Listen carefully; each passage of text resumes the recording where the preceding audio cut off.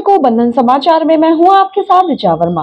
खबर जिला बिजनौर के नूरपुर से है, जहाँ शिव मंदिर चौराहे पर भाजपा के तीन राज्यों के विधानसभा चुनाव में प्रचंड बहुमत से जीतने और सरकार बनने के उपलक्ष्य में भाजपा के मंडल नूरपुर के कार्यकर्ताओं ने मंडलाध्यक्ष धर्मेंद्र जोशी और नूरपुर नगर पालिका के chairman doctor M P Singh के नेतृत्व में भाजपा की जीत की खुशी का जश्न मिठाइयाँ वितरित कर और आतिशबाजी कर मनाया। आपको बता दें कि भाजपा नूरपुर मंडल के अध्यक्ष ने कहा कि चार राज्यों के चुनाव नतीजों से स्पष्ट है कि देश की जनता का विश्वास मोदी और भाजपा सरकार में है। देश की जनता मोदी और भाजपा के साथ है। इस अवसर पर चेयरमैन डॉक्टर महेंद्र प्रताप सिंह ने भी समस्त कार्यकर्ताओं की जीत बताया और कहा कि भाजपा का संगठनात्मक ढांचा बहुत ही सुदृढ़ है।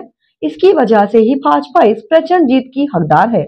इस दौरान महामंत्री प्रणय मनु गुप्ता ने कहा कि यह जीत भाजपा के उन करोड़ों कार्यकर्ताओं की जीत है, जो दिन रात पार्टी के संगठनात्मक ढांचे को मज़बूत करने के लिए काम करते हैं। इस दौरान भाजपा मंडल नूरपुर के समस्त पदाधिकारी राम अवतार चौधरी, मुकेश भुयार, संजीव गुज्जर, प्रमोहन चौहान, हितेंद्र राजपूत, अंकित जोशी, हरभजन सिंह, गुरनाम सिंह, राजीव जोशी आदि भाजपाई मौजूद रहे।